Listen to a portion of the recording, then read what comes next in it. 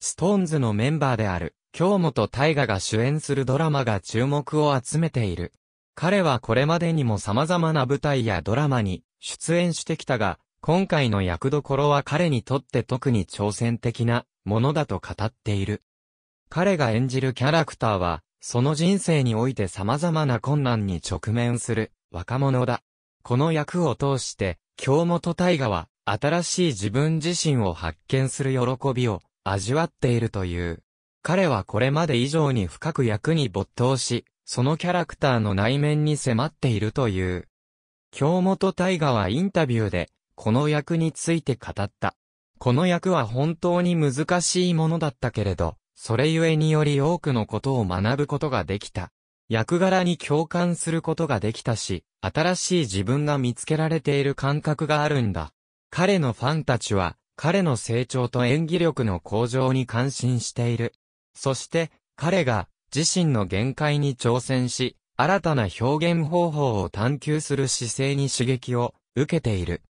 また、京本大我が、このような役に挑戦することで、彼のキャリアに新たな可能性が開けることも期待されている。彼の演技力と表現力は、今後さらに多くの人々に影響を与えるだろう。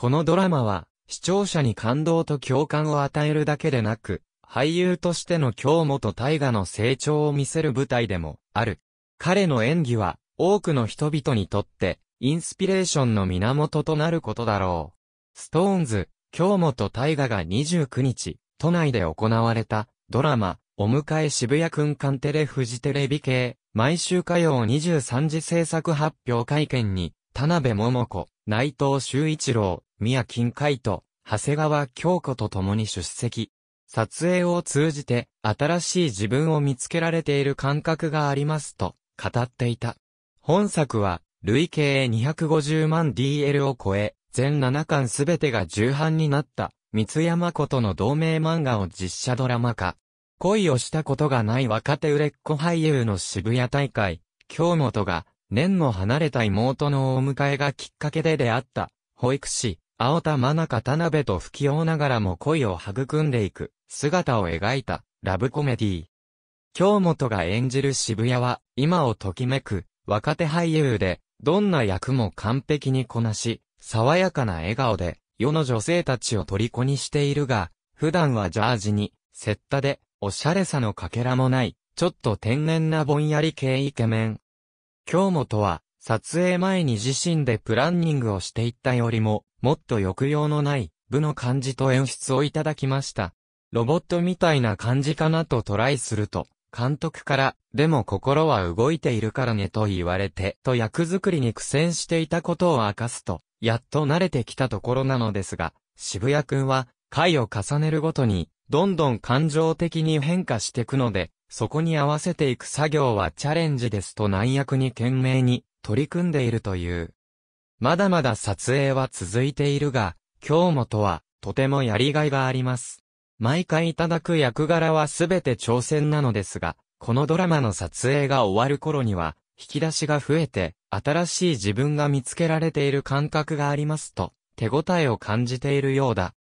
同じ事務所の後輩、宮金とは、プライベートでも交流があるという京本。宮金は、大海くんに、京本さんの面影が全くないんですと語ると、恋愛の話は、普段しないのですが、大会を通して、京本くんは、こんな恋愛感なのかなと投影しながら楽しんでいます。と笑顔。京本は、宮金の発言に、そういう見方をしているんだ。興味深いなと笑っていた。いよいよ放送がスタートする。京本は、間もなく1話をお届けできるのでワクワクしています。テンポ感よく、笑えるシーン、キュンとするシーン、癒しの時間になると思うのでぜひご覧になってくださいと呼びかけていた。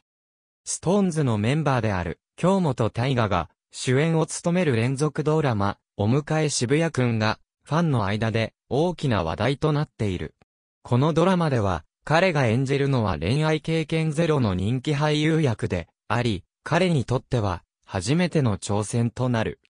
京本大我はこれまでにも様々な舞台やドラマに出演してきたが、今回の役柄は彼にとって特に新鮮なものだ。恋愛経験ゼロという設定は、彼にとってはまさに未知の領域であり、初めは苦戦することもあったという。しかし、彼は演技の中で新たな発見を重ねていく中で、成長と手応えを感じている。最初は自分にとって未知の世界でしたが、役柄に没頭する中で、新しい自分を見つけられている感覚がありますと彼は、語る。彼の演技力や表現力は、ファンだけでなくプロの演技者たちからも高く評価されている。彼が演じるキャラクターは、多くの人々に共感を呼び起こし、視聴者にとっても新たな視点を提供している。お迎え渋谷くんは、恋愛をテーマにしたストーリーだけでなく、人間の成長や友情、家族の絆など、様々な要素が詰まった作品として、注目を集めている。そして、その中心にいるのが、恋愛経験ゼロの人気俳優を演じる、京本大我だ。彼の演技は、視聴者に感動や笑いを届けるだけでなく、彼自身のキャリアにおいても新たな節目となることは、間違いない。彼の挑戦と成長は、多くの人々にとって、インスピレーションの源となっているに違いない。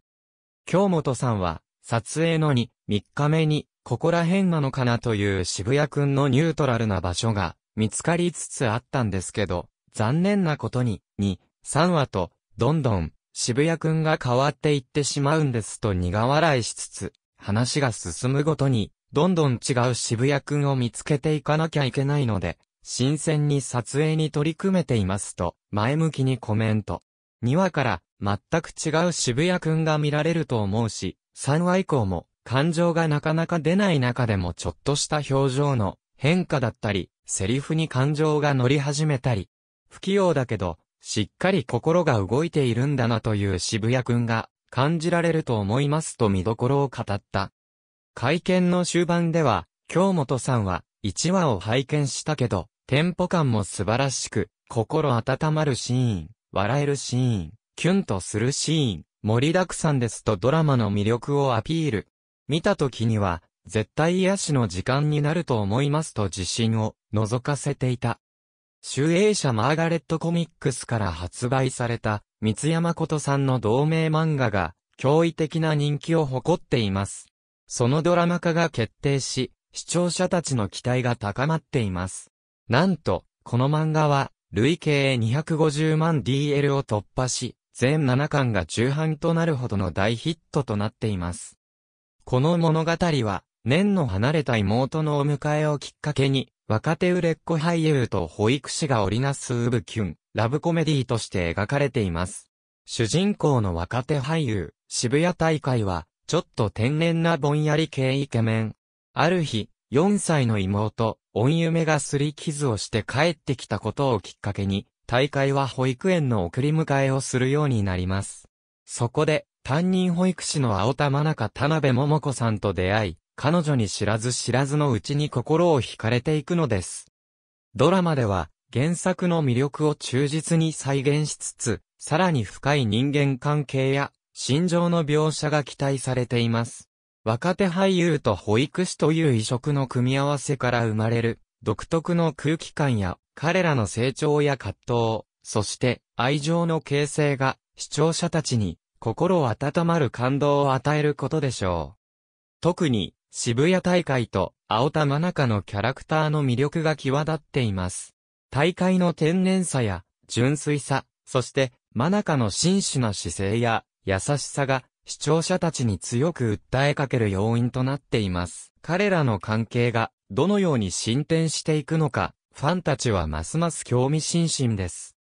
また、物語の舞台となる保育園や俳優の世界など、現実世界の一コマが巧みに描かれています。そこには、日常の喜びや悩み、そして成長というテーマが織り込まれており、視聴者たちは自身の経験や感情と重ね合わせながら物語を楽しむことができます。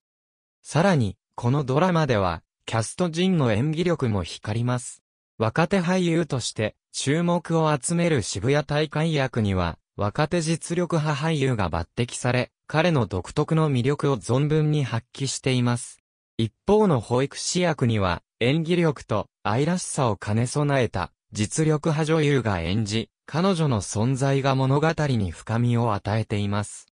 このドラマは、笑いあり涙ありの感動的なストーリー展開が魅力の一つですが、それだけでなく、登場人物たちの成長や絆、そして愛の形が描かれることで、視聴者たちに心に残るメッセージを与えています。若者から大人まで幅広い層に支持されるこの作品は今後もますますの人気と注目を集めることでしょう。この日は田辺さん、内藤修一郎さん、人気グループトラビスジャパンの宮、金海斗さん、長谷川京子さんも出席。終盤には、音夢役を演じる諸林芽衣ちゃんも出席した。